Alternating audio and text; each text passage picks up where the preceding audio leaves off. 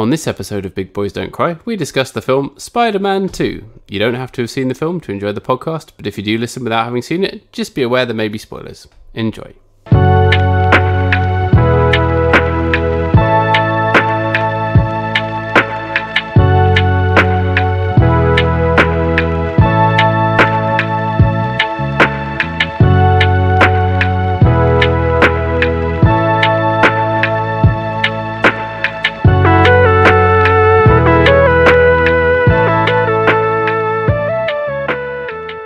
And they say that a doctor will kill us with his extra four evil arms. he is going to defeat the spider, and then he will do us some harm. You, you clearly spent quite a lot of time on that, didn't you? Oh, 100%. He is killing us, killing us, killing us with his four extra arms. Is it four? I thought it was more than four. Although, to be honest, I couldn't tell. Any time he was on screen, I'm like, oh, there's an arm, there's not. He's, he's got lots of like weird mechanical arms that are supposedly driven by artificial intelligence. He's got his two regular arms, two regular legs, and then four robot arms. Hence why he's now an octopus. Two regular legs. The regular legs. Yeah. Um, hence why he's now an octopus because he's got eight limbs. There's oct- octo limbs all over the place, though, in this film, aren't there? It's an octo limb fest. It's an octo limb fest. What do you mean? It's well, it's like Oktoberfest, but with octopuses' limbs, like tentacles. Just with all of all of the robot tentacles everywhere. Yeah. Maybe it was just the way it was shot, but they made it look like he had thousands of them. Yes. Did he only yeah, have which I two? think is deliberate because uh, yeah, four, four, not quite as scary as a million, but if you No. film it so that it's an indeterminate number of robot arms, then you never know. Well, I'm very disappointed that you chose to use the song from last week's film, which was not in this film, and not to do one of the the equivalent of this, which is the song "Vindicated" by Dashboard Confessional, who I'm gonna guess is a band that you hate. I don't hate them, but they bore me, so I don't know if that's worse in a way. this is the emo phase of uh, of the era of music. So we had the post grungy, new grunge wave stuff of the last movie, and now there's lots of emo. You got stuff like Dashboard. You got Taking Back Sunday. Yep. Uh, notice a little bit of Hoobastank in there, who kind of straddled the line between one of the worst different- band names ever. Extremely bad band name. That's it's similar um, to Catfish and the Bottlemen in that it comes from a story that is very very personal to the singer, but that is meaningless to anyone else. Yes. Which apparently is a name that like his baby brother used to call him when they were tiny kids or something. That's right. Yeah, it's something like that, isn't it? yeah. So don't name your band after something like that because it's silly. Although I'd rather be in a band called Hoobastank than Catfish and the Bottlemen, yeah. because Hoobastank has a kind of goofy ring to it, whereas Catfish and the Bottlemen just sounds incredibly pretentious. Yeah. Apparently, the story behind that is that when the front man was a kid, there was a, a busker who used to play bottles that he used to see who was called Catfish the Bottle Man. So he essentially stole that guy's name. he just stole a busker's name. Yeah. And that guy's probably dead now because they killed him because of They- Catfish they, and the Bottle Man. Yeah. They, they, they they tracked him down and murdered him, so the secret couldn't get out, and then they accidentally revealed it in a in a in an interview. That guy's dead now, and it's their fault. But no, Hoobastank isn't isn't yeah, it's it's got goof factor at least, and also led to a band at my school who played once at a talent show being called Hooba Spank, which was very funny, and they thought it was very very lewd lewd and hilarious that they put that up on like a massive banner during the talent show. The, in the like oh no it was it was a screen. Sorry i'm pretty sure it was like a projector screen behind them and they'd done it in like word art and it was like some massive really ugly word art that said hooba spank. That's beautiful. and they covered Um, in bloom by nirvana and i can't remember what else they did. The the frustrating thing about Catfish and the Bottlemen, apart from their music, is that uh, the the guy's name is um, Van McCann, so they could have been called McCann and the Vans, that's quite good but unfortunately, his first name isn't actually Van. is it not Um, no, so his dad likes Van Morrison, so he nicknames himself Van. but it's not actually van No, his first name is really Ryan. Ugh. but why would you name yourself after van morrison he's like the most cantankerous old idiot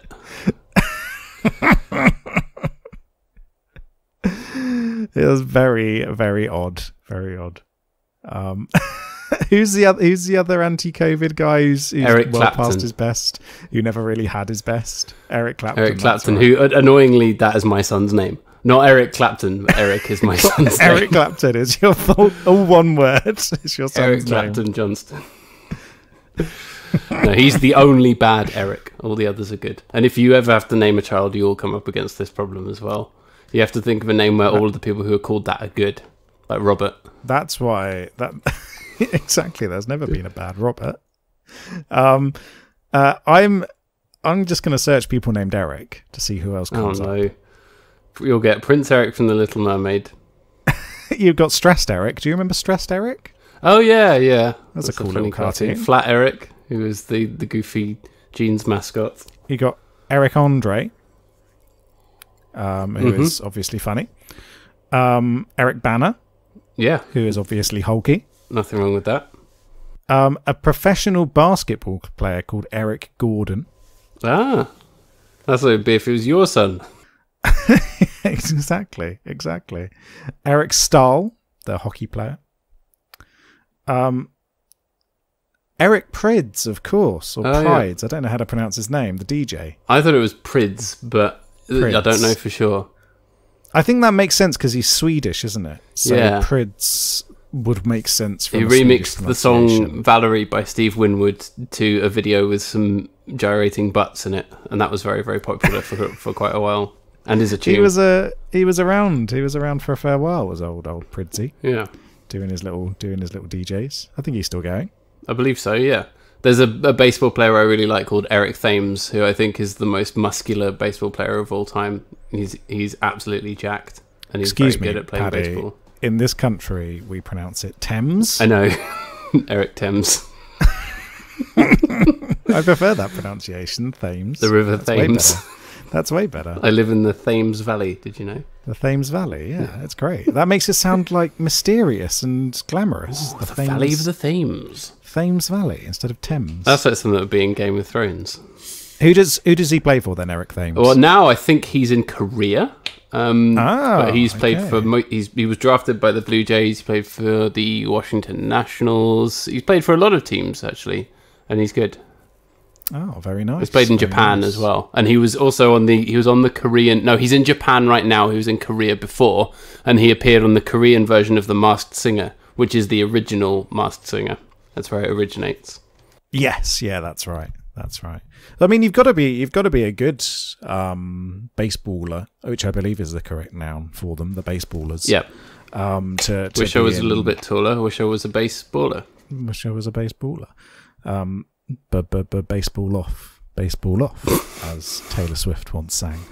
Um, uh, they've got good good baseballing over in Korea and, and Japan. Yeah, yeah. You know, to make the transition over there from from playing the game in America, surely you've got to be you've got to be skilled as well. You know, it's it's it's not like an elephant graveyard for careers, like going over to play in the American football.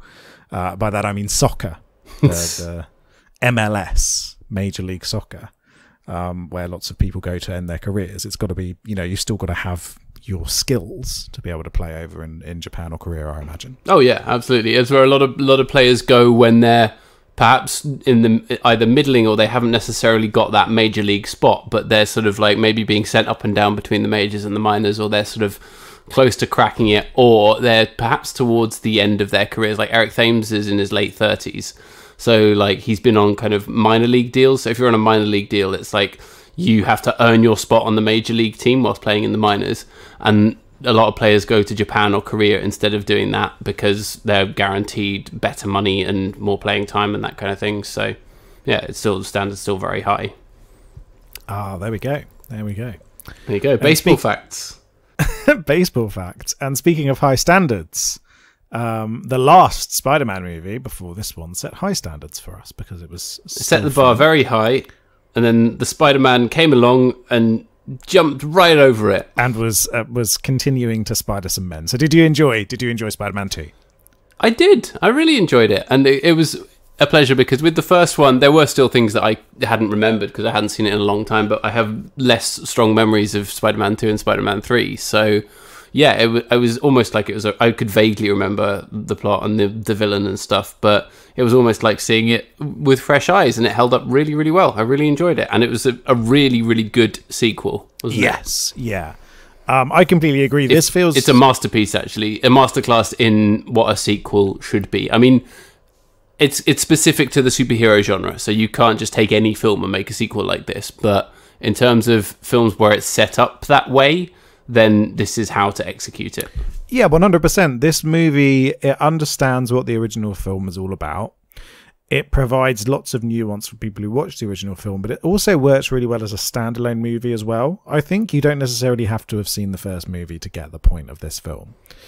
Yeah, I think if you went into this cold, you would still really, really enjoy it. Which, considering all of the through threads from the previous movie, is actually quite an amazing thing.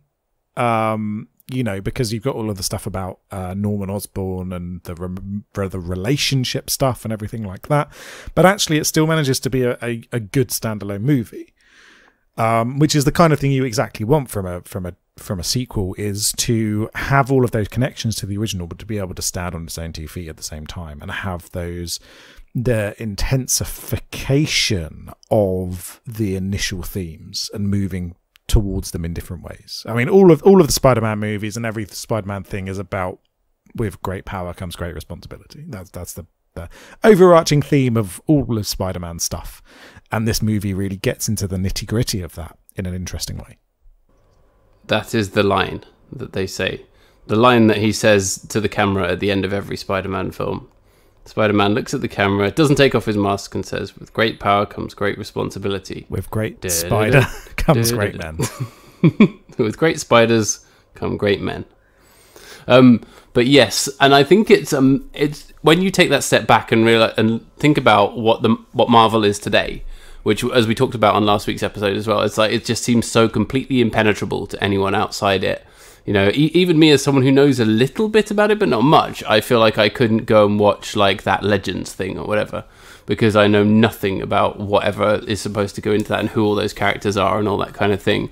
Whereas this, the fact that they managed to make a film that once again, like the first one, is just completely accessible and that you could go into cold is so far away from what we have today, and I I found that amazing actually. Yeah, it is really a movie. The Amazing Spider-Man. it is really a movie that feels from a previous era of films, and I notice it's in a few ways. One of which is that this is a comic book movie that doesn't have like an hour long like action finale, where it's like not Yeah. one giant hour long fight scene. Which no, it's essentially he runs to find Bad Octoman in his weird lab. He cha- they have a bit of a fight. He talks him down, and then Octoman jumps in the river. yeah. That's about it. But it works from a thematic perspective. It works from a character perspective. So it has such a strong emotional punch that it doesn't need all of the big CGI punches to to bring it to being a satisfying conclusion. I mean, like, uh, I, I'm not going to shit on Marvel here specifically about doing this because really, the turning point for superhero movies with ending so long that you get bored was probably Man of Steel which has this massive punch up where you can't see what's going on because it's two supermen smashing each other into skyscrapers for an hour, and it just gets How really are there boring. two Supermen? so you've got Supersmen? you've got Zod, you know Zod. Who's Zod? So Superman, you know the last surviving Kryptonian, Supersman. Superman. He ain't the last surviving Kryptonian. There's other Kryptonians every now and again. And What? One of them is Zod, who's a big old bad guy. Th- This isn't anything new, Paddy. This is something that's been part of Superman for for probably about 50 years now, Okay. if not longer. This isn't a new thing they made up. Um, and so, yeah, he fights Zod and, and smashes him into stuff. Um, which is it's it's frustrating because have you have you seen Man of Steel? No. It's an interesting. I think I've I've only seen the old the old Super, the old Supersmen. Superman, which is still with- the best Superman Hatcher. movie. Yeah. No, with Teri Hatcher, the the TV show. Yeah, I've only seen those. You haven't don't know if I've seen the movies. you haven't seen the um, but I did used to enjoy the TV shows. you haven't seen the Christopher Lee ones from the seventies. Um, I don't know if I have. You know, I suppose if you if you if you haven't like yeah. aesthetically in my head, I know what it looks like and what it feels like, but I cannot confirm or deny that I've actually seen a full movie. yeah, makes th- sense. those Christopher Reeves ones from back then are um are really interesting. yeah, actually, not Christopher Lee. Is that what I said? You said Christopher Lee, and I was I- thinking it over in my head. I know that's wrong, but I can't remember what it was. Christopher Reeve. I meant. Yeah. meant to say Christopher Reeve. I Um, would if it was Christopher Lee, I would have seen all of them. Yeah, I'd I'd watch Christopher Lee as Superman. God Um, rest his soul. No, so so so Christopher, yeah, Christopher Reeve as Superman. Um, there was one in '78, and then I think was the next one in the '80s, or was it the next year? And they were really, they were like real prototype comic book movies. Um, Yeah. and they're really good. They're really interesting films. And I feel like without well those, we don't have Sam Raimi Spider Man. No, no, and I think I think those those early Superman films, the first two are really good. After that, they they drop off quite badly. Um, but they're they're really interesting, and they they really get to the heart of him as a character. Um, and Man of Steel is an interesting film. Some of it works incredibly well, other bits of it don't. It feels a little bit heartless, which is odd for a Superman movie because Superman's all about you know that the whole thing about Superman is that he's an alien who's more human than human beings. That's that's the main point of Superman. Um, and it kind of doesn't do that. So there's all of these bits in it that are really interesting.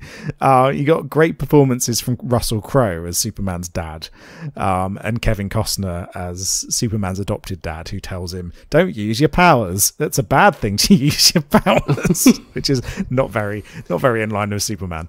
Um, He should have stuck to baseball films. It's funny. It's it's got a big sort of field of dreams energy. Actually, the bits with um the bits with Kevin Costner in. of course it does, Um, because that's what he's like in everything. And I love him for it. Um, but then yeah, the whole movie ends with this big old punch up, and it gets very boring. And that was kind of the turning point where like every comic book movie after that point needed to do something similar. Wait, which is the one with Kevin. Spacey?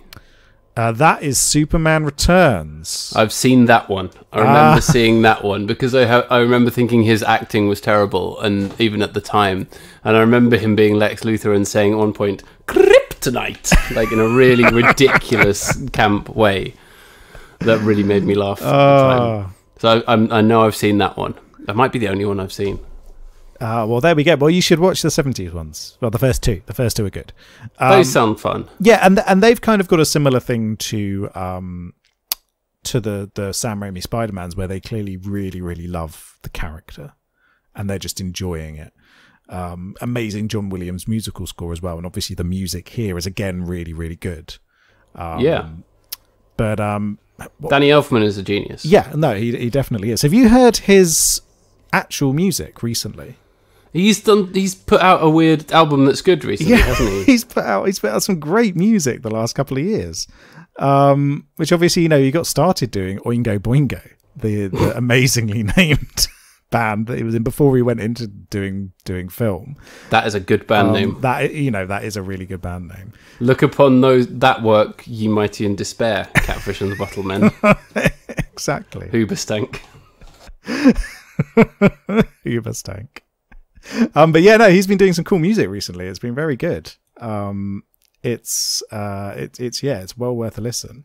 Um, it's uh, yeah, he's it's he's he's a strange he's a strange man, and he makes strange He's music. got a much more great. varied CV than you think. Yeah, and yeah. he's a multi instrumentalist, a composer of so much great stuff, and yeah, just a really a guy who also seems like he does whatever the hell he wants as well. So I, I always respect that in an artist. Yeah, I um Big Mess it's called. Sorry, I was trying to look for the for the Right. album name. Big Mess that was released last year is really cool. Well worth a listen. Go and go and give it a go and give it a listen. And then he did a song this so Trent Reznor appeared on um on Big Mess. And then I think they also released another song this year together. Um Oh, which cool. is like I mean what a combination. Dan, Danny Elfman and Trent Reznor. Um, Fantastic. It's um, love to see it. yeah, it's uh, it's it's really cool. Um, So yeah, the music really augments this film brilliantly, as as it did in the first film. But uh, going back to what you were saying before, is you, you can tell that this film loves the character. Um, that a lot of it, you still get what the first film has, where the scenes of him swinging across the rooftops and just doing Spidey stuff are fun, but it doesn't overdo that. And I think a lot of films, if you have that, and it just focuses on that and doesn't actually have a plot or a good story or a good romance or all of those kinds of things, you're like, well, okay, that's cool, but give me a story, to, like, give me something to root for. Like, this still balances those things really well, just as well as it did in the first one. Yeah, it does. It really gets to the heart of Spider-Man being a poor human man. Um, you know, the the movie opens with him delivering pizza as Spider-Man. It's great. Yeah. What, what For 41 blocks. No one would order a pizza. I, I've been to New York. You wouldn't order pizza from 41 blocks away. That's quite far away. Maybe real New York people will, co- will correct me, but that feels like a long way to order pizza. See, the thing Anyway. is that it's clearly being done for a business meeting, and they're expecting them not to be able to deliver the pizza So that in that free. time, so that it's free. Yeah. It's capitalism, baby. Capitalist pizza. A giant corporation undoing the the small pizza maker. That's what it is. so he uses his Spidey powers to deliver the pizza, and it's still late. Yeah. But yeah, you've you've got all of this struggle of him as a human being, you know, um, unable to maintain like friendships and relationships with people, unable to pay his bills, unable to keep a job, failing at college, all of that stuff. Where it's like you can see the weight that being Spider Man's putting on him because obviously being a superhero isn't all bells and whistles all the time. It's not all celebrations. There's clearly, you know, there is that barrier between the human being and the the person in the mask.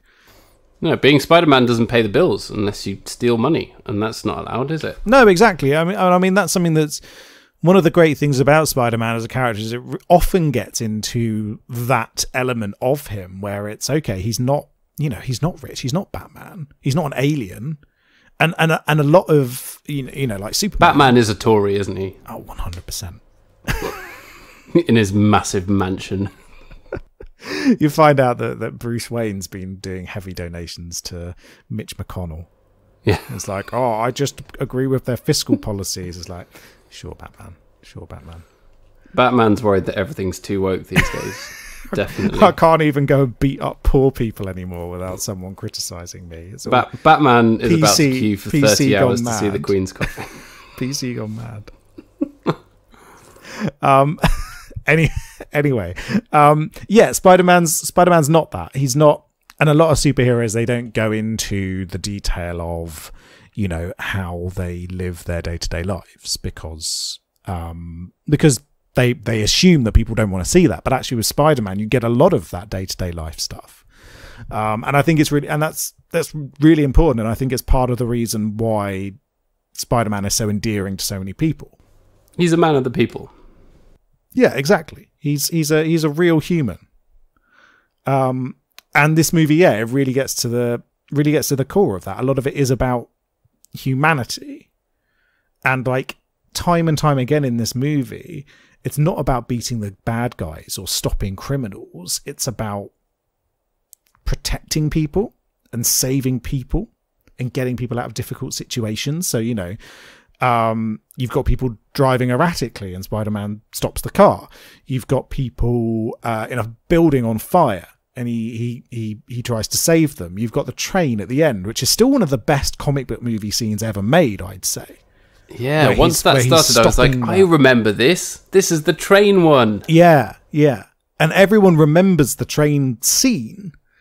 Um, because again, it's about him putting his life on the line to protect normal human beings, not to fight Doctor Octopus. Doctor Octopus is fucked off at this point. Spider-Man could have chased him if he wanted to, but that's not what he's about. He's about saving people, protecting people.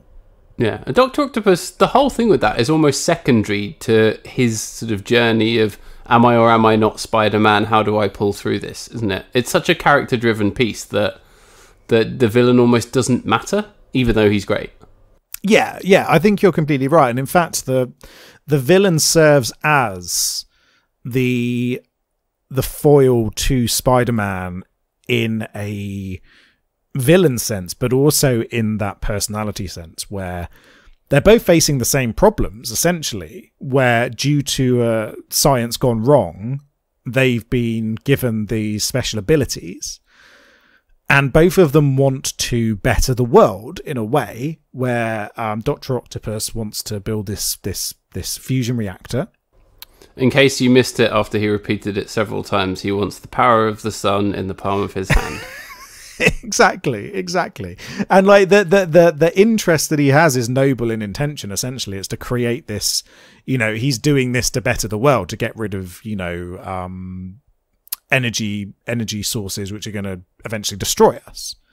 Um, but obviously, the the power of who he is, both in terms of his his ambition and intellect, and then his giant robot arms, um, yeah. uh, get gets to him so he does things like break the law. He tries to kill people. He definitely does kill people. He robs a bank. Um, he kidnaps people. He nearly destroys a train full of people. He throws a car into a window at precisely the right time for the plot.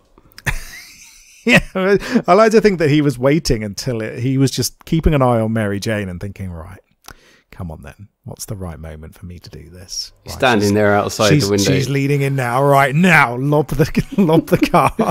He's just holding um, the car in his arm, his like bionic arms outside the window. Loads of people walking past, going, "What is that guy doing? What's he up to?" Um, but but all of all of that, the the whole purpose of it isn't, um, you know, it's not. I'm going to get really rich. It's it's to build this big old reactor because he thinks this is what the world needs and this is what I deserve for my genius. And so you can see that as the opposite of Spider Man, where Spider Man also has all of these powers, but instead it's about, um, you know, Spider Man would never rob a bank. Spider Man would would never put people in harm's way deliberately to further his goals to make the make the city safe or to make the world a better place. Um, no and and you've got the whole thing of him also you know shying away from being spider-man. Um, where the pressure of that becomes too much. And i think that's a really interesting um, route for this movie to go down for quite a lot of the runtime as well. A lot of this movie is spent on peter parker trying not to be spider-man. Yeah much more than you remember. And actually it's only really the last third where he actually does the proper spidey stuff. Yeah yeah. A lot of this movie is him walking around just, just, being a regular just guy. Being a regular guy. It's it's it's not Spider Man. It's it's Man Man. Um, but before we move on, I just want to say Alfred Molina is truly brilliant as Doctor Octopus, isn't he? Absolute He's legend. Fantastic. He's um, 69 um, years old. nice. Um, and he's he's great. I mean, I think this is up there with Willem Dafoe as um as the Green Goblin slash Norman Osborn. I think it's the Absolutely. same the same quality of performance here. is truly great. Um, you think of Alfred Molina as being like a really serious actor, don't you? But then he last appeared on this show when we were talking about Prince of Persia: The Sands of Time. So you know. That's true. He's done some really varied stuff over the years. You know, some some truly brilliant stuff, and obviously lots of lots of West End acting as well. Um, yeah. But then also, um, what's that? What's that really nonsense horror movie he's in. Um, oh, what's it called? I'm gonna have to look this up. You know, he seems like he's really willing to have a laugh and to do goofy roles, you know, with passion and that kind of thing. And I really, really appreciate that in an actor. Yes, yeah, that's it. He's in Species. Have you ever seen Species? No, I feel like you've talked about this before. There's a sexy alien woman who is seducing men to give birth to to more aliens. Oh, that's um, right. And uh, and lots of people are trying to stop stop her. Oh, also stars Ben Kingsley. Ben yeah, Kingsley, Michael might... Madsen, Forest Whitaker. Uh, I mentioned am- this on the Prince of Persia episode. it's got an amazing cast, but is truly, truly a piece of trash, but in the best possible way. Um, but yeah, so he does all of that, all of that kind of stuff alongside, you know, more, more really, you know, some really clever movies, some really sensible old fashioned acting movies. And I like that about him. I like that he does this variety. Yeah, absolutely. And in this he's just brilliant. You believe him as as a scientist, a science man, don't you? Even though the science is completely bogus. Yes, yeah, the science is is nonsense. You're like you're just you're saying science words, and I'm I'm not really listening, but it all sounds cool. it, all sounds like it could feasibly be real, so let's just roll with it. I mean, this is a series where a man gets bitten by a radioactive spider and then doesn't just immediately die. Um, and instead get superpowers. Um, I also wanted to call out that his arms look amazing still. I mean, this this movie is old now in the grand scheme of things. Yeah, Compared to the, the PS2 skeletons from Spider Man, things moved on quite a lot in the two years. they really they did because this, this was 2004, wasn't it? But but the CGI on on those on those arms for him, the robot arms, looks amazing. When the big energy ball is sinking into the river at the end, that looked a bit shonky. But other than that, the CGI was really good. Yeah, I was really surprised at how well it held up. It's it's really impressive. Um, well, well worth watching. Um, just to see how actually, you know, this is nearly twenty years ago now. Two years away from being Yeah. twenty years old. If you were born in the year that this film came out, you're probably old enough to drink now. Yeah, yeah. it- In this um, country, this- anyway. If you were born the day that this movie came out, then you would be able to get wrecked down the pub. Yeah. Um, which is which is amazing when you think about it. How good it looks and how fresh it feels. Still, this feels, you know, this movie hasn't aged. It feels it feels amazing still. Yeah. The arms also look a bit like those like scary things that come out of the bed in The Haunting from 1999. Yes, yeah, that's true. Um, speaking of scary, um, it was nice to see Sam Raimi getting a little bit of cheeky scares in here and there. You got some jump scares with the with the tentacle arms, the robot arms. Yeah, yeah, they were genuinely Um, scary. you've got the, the there's that amazing scene where they're going to try and cut off the arms after the initial accident when he becomes Doctor Octopus, and the arms come alive and kill all of the doctors in the room, and that genuinely feels like something from a horror movie. Yeah, that kind of freaked me out a bit. That scene. Yeah, the use of the use of shadows, the the the way that people get dragged off by them, the really nasty quick editing in certain places. It's really well done, and obviously, you know, Sam Raimi is an amazing horror director. So obviously he was going to be able to do this well. But it, it is really refreshing to watch a a big blockbuster movie that still treats the audience with respect to have those scary scenes in where you know it's one of those things I still love about Jurassic Park where Jurassic Park has mm. those scenes that really feel scary Yeah. and you can have those elements in a big you know blockbuster movie whereas these days a lot of the time they shy away from having that variety and having that tension What's amazing about Jurassic Park is that a guy gets eaten while he's on the toilet, and it's not funny. it's, it's kind of funny Right, a little bit. but but no, I know what you mean. It's genuinely like just a oh my god, uh, this is but it's it's the vulnerability of him. It's pouring with rain, and he's looking up at this giant T Rex. And Yeah, and screaming. yeah, It's and that was the thing in the scene when Doctor Octopus is killing all the doctors. They're all screaming as well. Whenever he's around, everyone's screaming all the time. they are all screaming all the time in a way that I feel like they weren't doing for the Green Goblin because he was a bit too goofy, wasn't he? He just sort of Yeah. appears on his glider and he's like, "Out, am I?" yeah, everyone was kind of raising an eyebrow, weren't they? Um, it's like what's what's going on here? Oh god, I'm a skeleton. Yeah, Um, whereas here, yeah, everyone's everyone's screaming all the time. Um, it's it's yeah, and lots of really good like close up zooms into screams and things like that. You really get the terror of of uh of of, of how nasty he is, how terrifying he is. the terror of bogus science. Yeah. Oh my god, this isn't scientifically accurate. Are we going to become one of those film critics, Paddy? No, absolutely They're not. like, oh, Never. that's not how it would really happen. Never, because it doesn't matter. it's fun. There's a there's a guy like trying to turn the machine off and it's not working, and you're looking at it going like something with that much power and radiation or whatever wouldn't be in like an apartment building in this in a city in a densely populated area. That would be underground in a Hawkins lab type situation, surely. But whatever, Spider-Man 2, you roll with it. I think you'll find that actually that kind of train has an automatic stop system if it gets damaged. Oh, simply yes, cut right. off the power to the route. Um, naught out of ten. Really bad movie. And there's no way it would actually be ending like in a thing that would just throw it into the river. There isn't any anywhere on the New York subway system that actually ends and buffers like that. Uh, I think you'll find that if someone saw Spider Man without his mask on, they would obviously talk to the press about who he is. I mean, who are these people? Honestly, completely broke my immersion in the film. naught out of ten. They would turn him into J. Jonah Jameson. They'd give him to the cops. It's it's it's you know thematically appropriate for the movie that Spider Man is New York and New York is Spider Man. Yeah. It's taking that scene from the first one where the, where everyone threw rubbish at the Green Goblin, and it's like one upping that, isn't it? Yeah, I- I- exactly, I like that. exactly. It's it's, It's, cheesy. doing- It's very very cheesy. It's very like yes, here comes New York. New York is a character, but it's like yeah, this is this is fun. yeah, th- th- it is it is cheesy, but it's meant to be cheesy. You know, it's um, this is this is what this movie's all about. Is this a movie full of heart? And you know what? You can make movies with heart. Nothing. It doesn't all have to be cynical. Yeah, exactly. And it feels a lot less cynical than the superhero movies of today, doesn't it? Yeah, yeah, exactly, exactly. It's it's it's earnest, which I like. It's very earnest, and a lot of the acting is very earnest as well. Yeah, there's no there's no Joss Whedon eye roll going. Well, that just happened.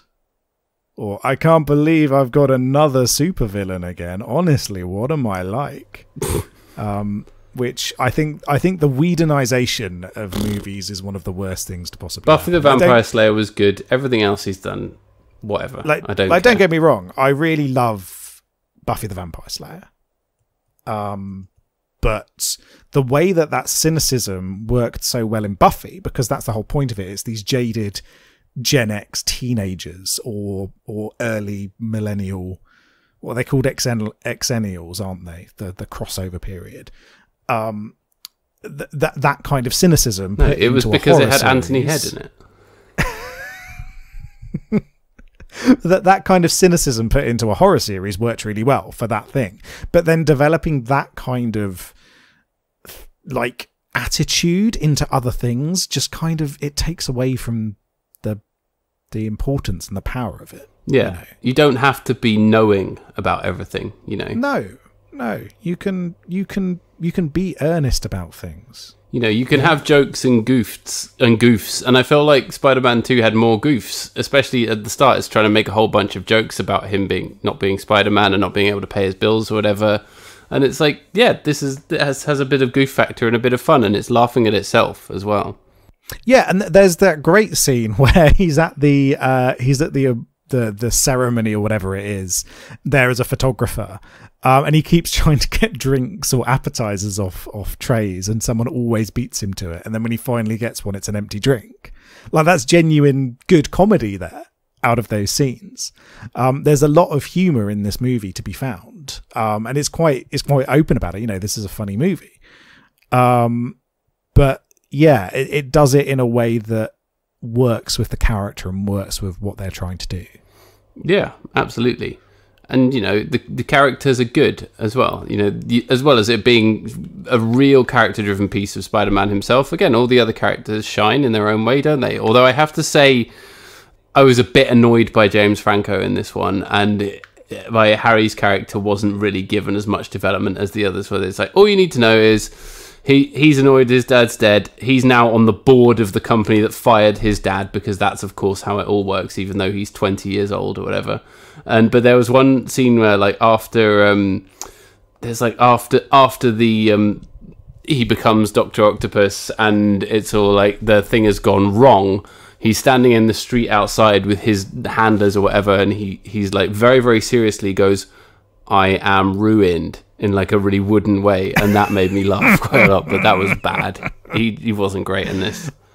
He was he was not good in this. Um, I think it's. Fair I like the scene at the end The- when the- the, Green Goblin mask is like haunting him and trying to get him to become the Green Goblin. I like that, but that's not Yeah, because of him. That's yeah. because the, the Green Goblin mask acts better than he Green does Goblin. in that scene.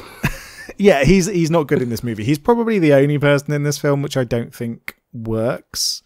Um, he worked fine in the first movie as like rich kid at high school, but here where you've got that extra dramatic requirement, the grumpy businessman James Franco doesn't work at all. and you know that it's only Um, there to set up for Spider-Man Three, which is a little cheap.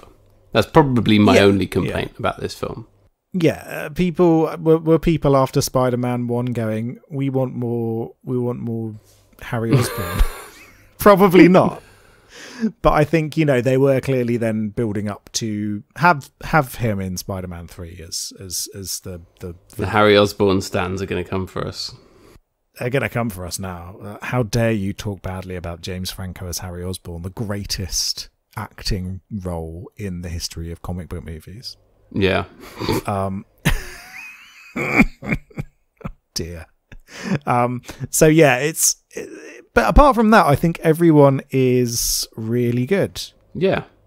I I think it works. I think it works really well. Um, wouldn't you say? Absolutely. Everything about this works.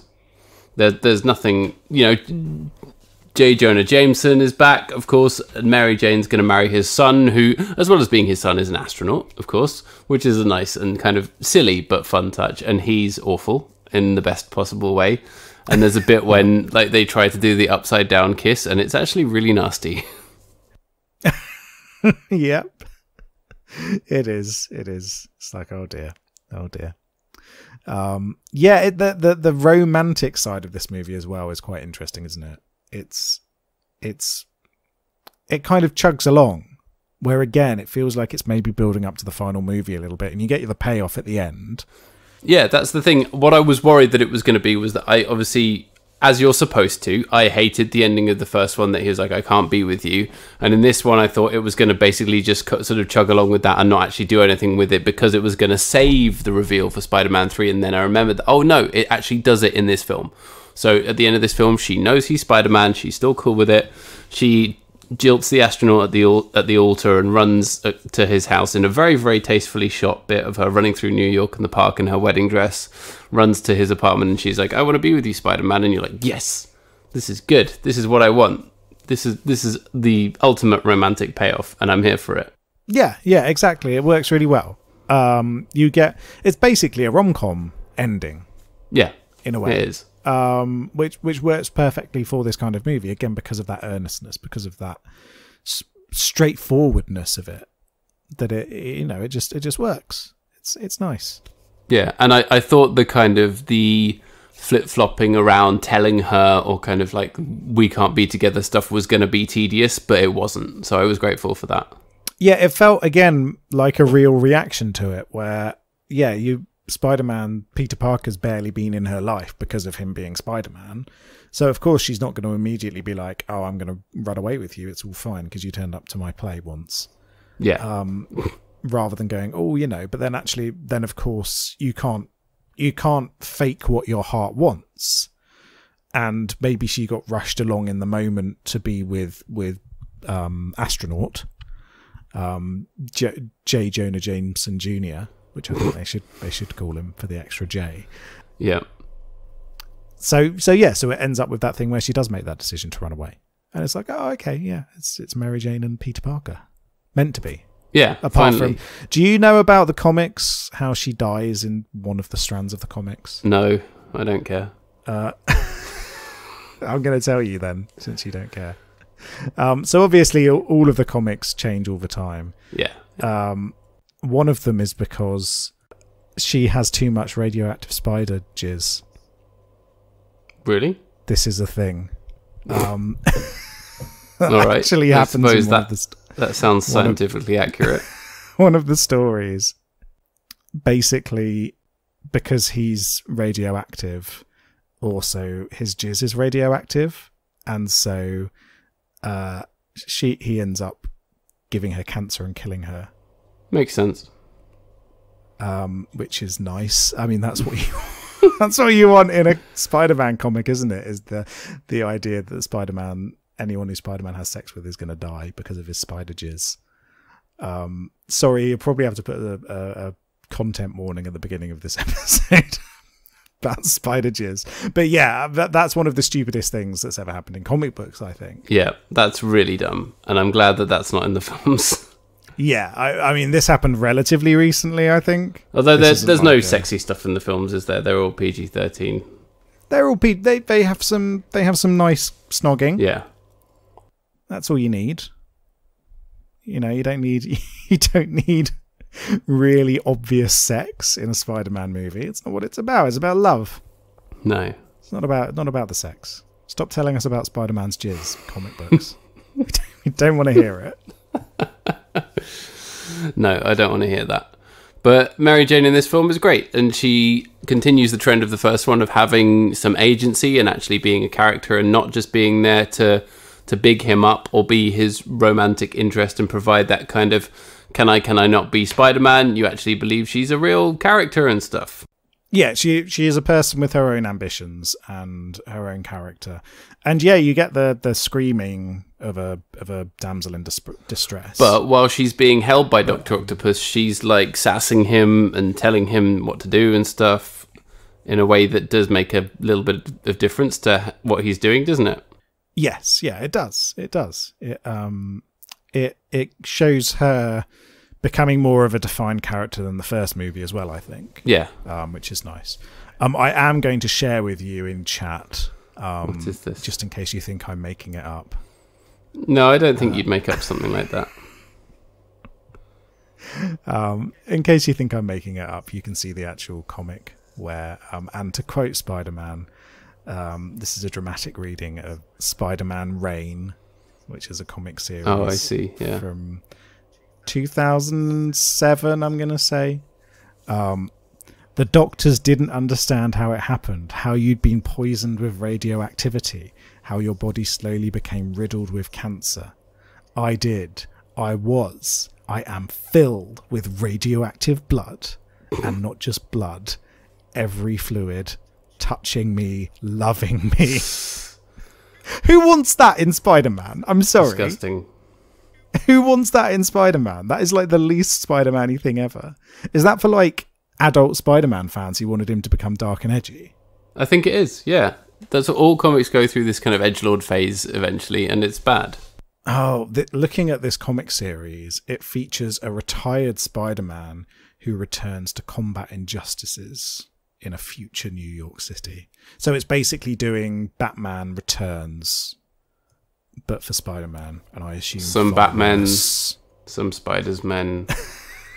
the the the Animal Men. Yeah. That's what they could do. They could they could hang out together. Um, what's what's it called? The Batman the Batman one by by by um Miller. Oh, Uh, um, Miller. it's dark, Dark- and the Dark rainy, and edge lords love it. Is what it's The Dark called. Knight Returns. Is that it? Yeah, the Which is kind of interesting. It looks at at sort of vigilantism and and fascism in a in an interesting way. This is before Frank Miller went completely off the deep end. yeah. and was still making interesting stuff. Um, but yeah, that's not what you want from Spider Man. What you want from Spider Man is a guy in a suit doing one liners and occasionally doing science and, He's goofy. and doing goof goof stuff. He's a goofball. He's a goofy science kid. Yeah. He says stuff like, "You're out, Gobby." What was his one liner in this? He had one good one liner. I forgot to write it down. Oh, I didn't write it down, but I thought there were a few. Yeah, there, there was one in particular that tickled me. Not as many as J. Jonah Jameson, who obviously says stuff like, "I need you to cover the planetarium because my society photographer got hit in the head by a polo ball." Which is really good. Or, you spend any more on this thing, you can pick the daisies off my grave. I liked um, how how he did that immediate heel turn where he was going, "I was wrong about Spider Man. He was he was protecting us. Yeah. He was the city's protector. He's uh, and then Spider Man steals a suit. He's a thief. it's just brilliant. Yeah, so he he continued doing his very very funny thing. Yeah, uh, when his son gets jilted at the altar, he immediately calls the caterers to to not open the caviar. He's perfect. Yeah, he's so he's so good. Really good again. Um, the the the great bit where he goes, "I'll give you one hundred and fifty dollars for them." Three hundred. That's outrageous. Done. And it's fun. That's the thing. Yeah, All of this yeah. stuff is fun. All of that kind of dark edge lord stuff is not fun. And comic book films should be fun. Well, I think you can make dark comic book movies for characters which work with them. Like Batman, for instance. You can make dark But Batman isn't fun.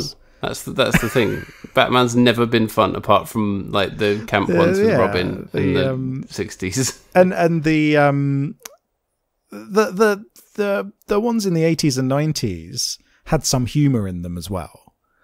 Um Oh, particularly bat, bat, the Bat Dance one. That's that's got some some goof factor. or the Adam mostly Adam thanks West. to Prince. Yeah, Yeah. yeah, yeah. And th- but then yeah, when you look at the ones with um, the Tim Burton ones, they had some comedy in there um, alongside the darkness. Um, and then the ones that came after that, Batman Forever and Batman and Robin, were very very goofy. But then obviously since then, Batman is the serious one for real men. He's li- he's like Yeah. just for men, but comic book heroes, isn't he? He's the comic book, the comic book equivalent of a Lynx Africa box set. That's who Batman is. Yeah, Um, smells great. so so he can he can he can do the serious stuff but i think there's some comic book characters and i think a lot of comic book characters in fact where you need that humor you need that heart you need that silliness. Like yeah maybe you're not going to make a goofy punisher movie but someone like someone like spider-man someone like um like captain america you need that kind of goofiness to it because it's an inherently silly thing Yeah, the thing that disappointed me most about Watchmen was that it didn't have a seven minute long tap dance routine. I mean, I wouldn't have put past Alan Moore to put one in to the actual comic, to be honest. No, because he does whatever he wants. He does what he does what he wants. And I, um, I've been flip flopping on Alan Moore over the years, but actually recently I've come to really, really respect him because he's always saying very, very sensible things about capitalism and culture. And I very, very much appreciate that, even though I'm like, I thought Watchmen was good, but I couldn't get into a whole bunch of his other work. And I thought he was really overrated and beloved by edgelord boys. But actually, he is extremely intelligent, and I really respect him. I mean, the thing to really like that I really like about Alan Moore is that he despises his edgelord fans. Yeah, He obviously really hates that's why I like him. because they haven't understood the works that they're reading. Um, I think, yeah, he he's got some really interesting stuff in his career. Um, it doesn't always hit the mark. There are sometimes elements that don't work. Um, but overall, I think he makes interesting comics. yeah, Um, and I think interesting comics are often some of the best comics. absolutely. Um, so yeah, no, Alan Moore. I'm I I can I can stand for Alan Moore. I think he's good. Watchmen is is brilliant.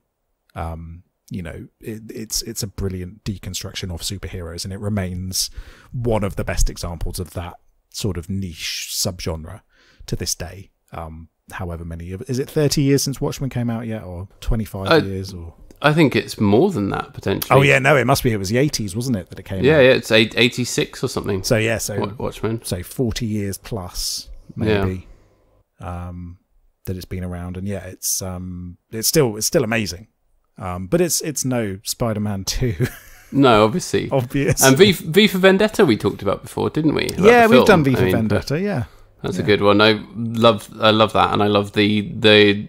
You always remember, don't you, um, Hugo Weaving's voice just in that slow motion scene saying, "Ideas are bulletproof." yes And then everything blows yeah. um have you watched from hell Um, no, I have not actually. which um i don't know if you've read the alan moore um comic. No, I always always meant to. It's got um Frodo Baggins in it. it does it yeah it also unfortunately has um johnny depp in it Oh dear. uh, doing a very bad accent, um, and Heather Graham also doing a very bad accent. Um, but yeah, apart from that, it's yeah, got Ian Holm, Robbie Coltrane. It's it's it's a bad movie. Um, it's uh, it's it's yeah, it's not a good film at all. to be honest with you, which is a shame a because shame. again, uh, it could have been good. The only good film that Jonathan Depp ever made was Sleepy Hollow. Yeah, it was, yeah. wasn't good because of him. Sleepy Hollow is a really good movie. I do like um I like some of his early stuff. There there there's a we won't get into him as a human being, No, um to be honest. Um we don't need to give any airtime to that. no. Um but there's a very clear from a career perspective there's a very clear drop off point between pre and post Pirates of the Caribbean. yeah, yeah. The point at which he gets in the sea. Um, yeah, exactly. So, like, when you're looking at his early career, you've got stuff like Nightmare on Elm Street. Um, Edward Scissorhands is a decent film. I know people, it's maybe a little bit overrated and people talk about it too much, but it is a good movie. Um, you've got things like uh, Ed Wood, the, the the movie about Ed Wood, the the the filmmaker. Um, uh, Donnie Brasco is a really good crime drama, so you'd probably hate it. Yeah, I've Um, never seen it. Uh, you got Fear and Loathing in Las Vegas, the Hunter S. Thompson adaptation. Um, Sleepy Hollow, I have seen that. mentioned. Um, but then you've got Pirates of the Caribbean in 2003, and after that, things start to drop off. So you had Once Upon a Time in Mexico the same year as Pirates of the Caribbean, which is good. Um, but after that, you start seeing a, a drop off, shall we say, where all of his characters seem to feel very much like uh, Captain Jack Sparrow. I don't know what voice that was. That was not Captain Jack Sparrow, but I'm going with it. That's his voice now. That sounded more like. Hi everyone, I'm Captain Jack Sparrow. Where's all the rum gone? Where's all the rum gone? I'm from the West Country. I'm from the West Country. I'm Although, a proper pirate. Apparently, this was on a quiz show we were watching the other day. The the sort of canonical pirate accent, or the reason everyone thinks pirates are like that, is because there was some ancient film in like the 1920s where the actor who portrayed a pirate was from the West Country and used his naturalistic accent, and that is why we associate that with pirates. Ah, okay. I can't. I don't know the name of the film, because I'd have- that was on a show. I'd have thought it would go back to Pirates of Penzance. Maybe that's it. Um, because that, I think that that's been around for a while, hasn't it? That's that's like late nineteenth century as an opera. But then maybe they didn't use West Country accents in it. I wouldn't have thought that that singing an opera in a West Country accent is easy to do. but um, Ave Maria. you have my Well, permission to take Pirates that out my of area of context expertise. and uh, and uh, and use it however you like. By the way, also hilariously, um, the day of the Queen's funeral is International Talk Like a Pirate Day, so that's going to be interesting on the BBC broadcast. I have a feeling that this year they will not celebrate Talk Like a Pirate Day. Um, Boo! um, anyway, is there anything else you want to say about Spider-Man Two? Um, I already mentioned James Franco saying I am ruined um, in a very very wooden way. No, I I think that's I think that's it. You know, it's it's good. Um, it's got there's a lot of like so the very very small bit part actors are all quite famous people, aren't they? Which is quite interesting. Yeah, um, I wanted to call out. You've got another great Bruce Campbell cameo here. This time as the as the usher, The obnoxious usher. which is really good. Um, I like I liked him there. Um, I've got a note here saying "cucked by Spider-Man," and I don't know what that refers to, but I assume either James Franco or No, su- um, surely astronaut that's J. Jonah astronaut. at JJ the and end. astronaut getting cucked by Spider-Man. Yeah. Um, I mean, he gets jilted. Is being jilted the same as being cucked? I suppose it depends on the circumstance. Yeah, is is everyone who's jilted a cuck? Is everyone who's cucked jilted? So A jilt. a jil- a jilt. Who knows? That's a that's a philosophical question for another time. Yeah. But yeah, you, you know, you got to feel sorry for him. But then you think, well, he's an astronaut. He's having a lot of fun. Yeah, yeah, he's he's off in space. Um, but yeah, no love, no love to be found in space. And also, imagine if J. Jonah Jameson was your dad. That would probably be exhausting. that's actually. why he went off to space. Yeah. It's like, I don't want to be on this planet with this guy anymore. Exactly. But no, Spider Man 2 is good. It's an example of a good sequel, and there are not many of those. Yes. Yeah. Exactly. Exactly. It's the train one, the one with the train. It's the one with the train. You'd love to see Spider Man stop a moving train. Yeah. Yeah, exactly. So a couple of bits of trivia for you. Um, Tobey Maguire performed the stunt when he flips over the oncoming car, Ah, which is cool. Um, apparently, a stuntman also did it, but Sam Raimi thought that Maguire's looked more natural, so he used his, which is cool. Um, you've got Mr. Ditkovich, who is the landlord. He's named after Steve Ditko, the original illustrator for Spider-Man. Ah, which yes. is a nice nod. Um, it would be nice if, um, rather than just giving people nods in these movies, Marvel Comics paid the original illustrators and writers. Yeah, and, that's a whole thing, isn't it? artists. Um, which obviously has is a big a big problem with the with the comics industry in general. It's the people who create these works and and lovingly work on these these projects for a long time don't get any of those residual payments. So look it up. This is your political message. Pay your fucking artists. Stan Lee got to be in the film, didn't he? He did. He gets a little cameo. He's he's got a little cameo. He he saves someone from some falling debris, which is nice. Um and uh, yeah, it's it's it's always nice when back in this era of Marvel movies when you see Stan Lee cameos. It feels special still, doesn't it? When you're like, oh, it's Stan Lee, Yeah, There he there he is. is, the man himself. the man himself. Um, but yeah, that's it for that's it for for cameos uh, and and and trivia. I can't be bothered to say anymore. I'm tired. No, it's all good. I think we covered it. So how are we gonna how are we gonna rate this one then? How many spiders men? Two. How many spiders men two? How many spiders men does it take to stop a moving train? So you've got a solid 17 spiders men here. It's a very heavy, powerful train.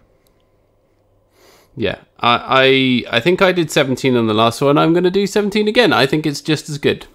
Yeah, I'd agree. Um, it feels slightly less sloppy this movie than the previous one, but loses a little bit of the charm. So I think it balances out.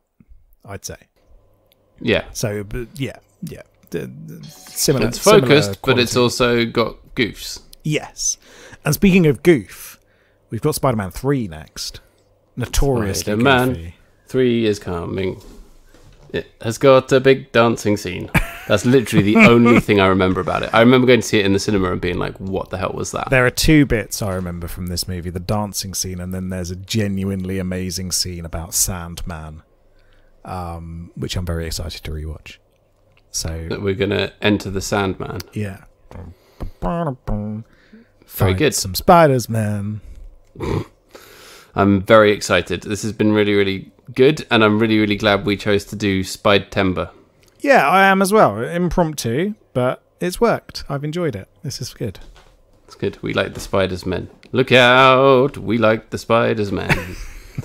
um, yeah. So Spider-Man Two is good. If you haven't seen it, go watch it. Even if you haven't seen the first one, just go watch it because you'll still get it. It'll still be good. It'll still be fun. Yep, still great. Go see it. Yeah. All right. You can find us on Twitter at Big Boys Don't Pod. You can email us bigboysdon'tcrypodcast at gmail.com.